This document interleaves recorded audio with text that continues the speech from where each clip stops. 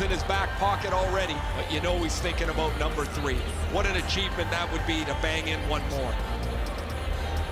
Tampa Bay's prevailed on another faceoff.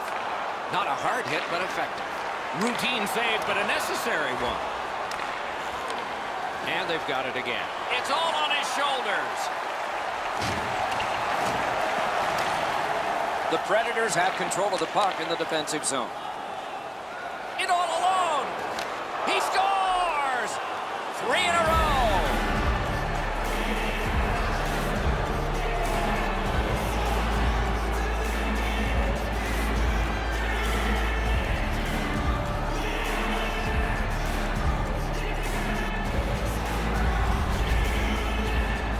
He looked confident on that breakaway right before he scored. The Butterfly's of no help to him there. Thought he had the net closed off, but he doesn't. The puck's behind him. Goalie to the bench. Substitution made.